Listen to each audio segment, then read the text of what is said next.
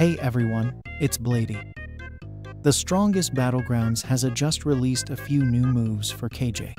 But before showing you, let me talk about the giveaway that I do every video. I will be giving to a random viewer any game pass they want in the Strongest Battlegrounds. But all you have to do is watch this whole video, subscribe, and like the video, turn on notifications, and comment down what your Roblox username as well as why you want the Game Pass. I will pick a random person from the comments. So don't get mad if you don't win. I post proof in my Discord server. As well, make sure to follow all the steps I can tell if you're skipping one, so no cheating.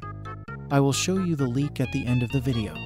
Roblox's Innovation Awards, previously known as the Bloxies, celebrate the best games and creators each year. This year, Strongest Battlegrounds has been nominated for three categories, including the People's Choice Award. The game's owner is eager to win and has launched a big campaign to get votes.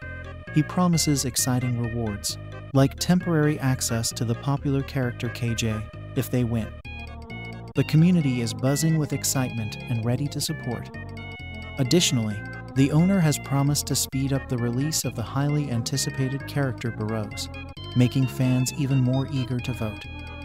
Make sure to cast your vote and help Strongest Battlegrounds win at the 2024 Innovation Awards.